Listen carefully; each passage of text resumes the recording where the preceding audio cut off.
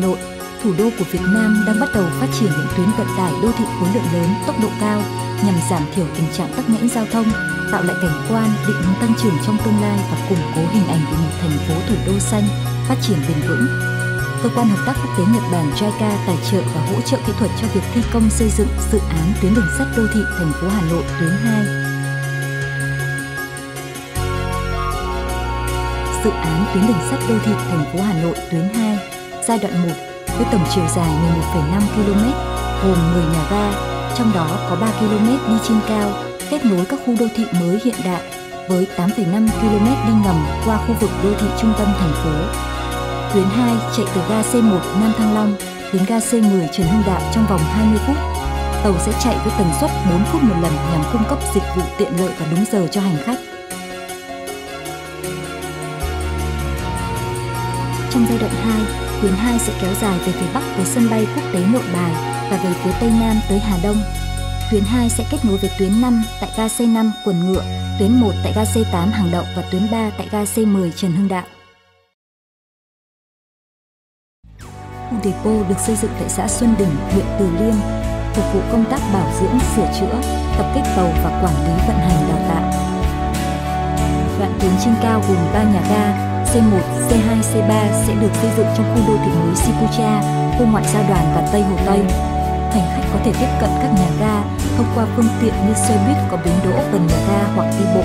Bên trong nhà ga, hành khách sẽ đi qua hệ thống thu sát vé tự động AFC tạo thuận lợi cho người sử dụng. Hành khách chỉ cần chạm thẻ tàu điện vào cổng AFC thì cổng sẽ tự động mở.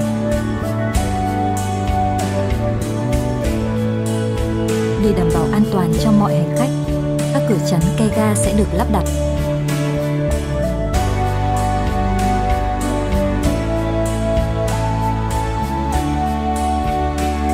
Bên trong mỗi toa tàu đều được lắp đặt hệ thống hiển thị thông tin hành khách trên tàu.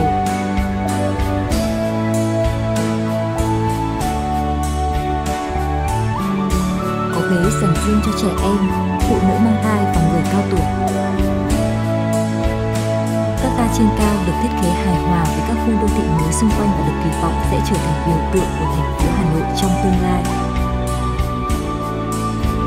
Nhà ga C3 Tây Hồ Tây sẽ là điểm nhấn của khu trung tâm đô thị Tây Hồ Tây, có thiết kế độc đáo mang tính chất biểu tượng mà vẫn kết hợp hài hòa với khu công viên và các tòa nhà xung quanh.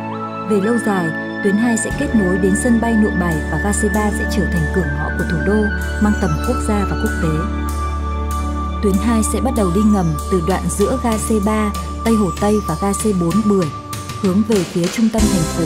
An toàn và an ninh cho hành khách là vấn đề ưu tiên hàng đầu đối với việc quy hoạch và vận hành ga tàu điện. Kế hoạch quản lý thoát hiểm khi xảy ra hỏa hoạn sẽ được phát triển. Tất cả các nhà ga được thiết kế theo tiêu chuẩn Nhật Bản để bảo vệ hành khách khỏi hỏa hoạn, lũ lụt hay động đất. Các cửa chắn lũ đặt trong phạm vi khu vực lối vào các ga ngầm ngầm của tuyến 2 nằm dưới khu vực phía nam của Hồ Tây, khu phố cổ, tới phía đông của Hồ Hoàn Kiếm và khu phố Pháp. Việc sử dụng phương pháp đào hầm bằng máy thiên đào sẽ không làm ảnh hưởng đến lưu lượng giao thông và công trình hiện hữu khi thi công đào hầm trong khu vực đô thị. Nhà ga C8 ga Hàng Đậu nằm ở phía bắc của khu phố cổ được dự kiến sẽ hình thành cửa ngõ phía bắc của trung tâm lịch sử Hà Nội. Lối vào nhà ga được đặt phía trong vườn hoa Hàng Đậu. Từ đây, hành khách có thể di chuyển tới nhà ga Nam Cầu Long Biên của tuyến 1 và một không gian mở tại vườn hoa hàng động. Trong toa tàu còn có khu vực dành riêng cho hành khách sử dụng xe lăn ở gần cửa ra vào. Sàn tiếp xúc có hờ nổi màu vàng sẽ được sử dụng như một cách chỉ đường cho người khiếm thị. Nhà ga C9 Hồ Hoàn Kiếm nằm gần đường Ngọc Sơn, trung tâm của thủ đô Hà Nội. Nhà ga này là nơi thuận tiện để đi tới những địa điểm nổi tiếng như phố cổ, Hồ Hoàn Kiếm hay nhà hát lớn Hà Nội là cửa ngõ phía nam của khu phố cổ với các giá trị truyền thống và tự nhiên, ga C9 được mong đợi sẽ thu hút người dân và du khách.